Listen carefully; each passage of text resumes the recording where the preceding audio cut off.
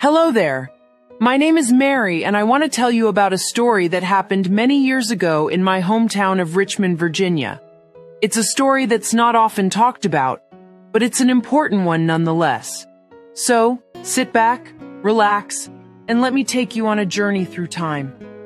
It was the summer of 1863, and the war had been raging on for two long years.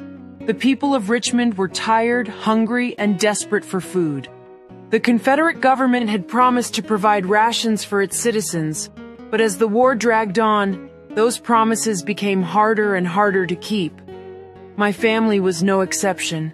We were lucky if we got a few scraps of bread each day. It was hard to watch my little brothers and sisters go to bed hungry each night. And we weren't the only ones. The whole city was suffering. And then, one day, the women of Richmond had had enough. They gathered together and decided to take matters into their own hands. They marched through the streets demanding that the government provide them with bread. But the Confederate government wasn't about to give up their bread without a fight. They stationed soldiers outside of the city's bakeries to prevent the women from getting any bread. But we were determined to get that bread. So, under the cover of darkness, we snuck through the streets and into the bakeries. We took as much bread as we could carry and brought it back to our families. But the soldiers soon caught on to what we were doing. They chased after us, but we were too fast for them.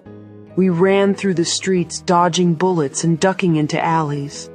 In the end, we were able to get enough bread to feed our families for a few days.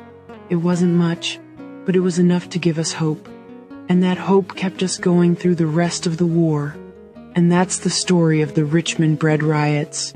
It may not be the most glamorous story, but it's one that's important to remember. It reminds us that even in the darkest of times, people can come together and fight for what they believe in. Thanks for listening.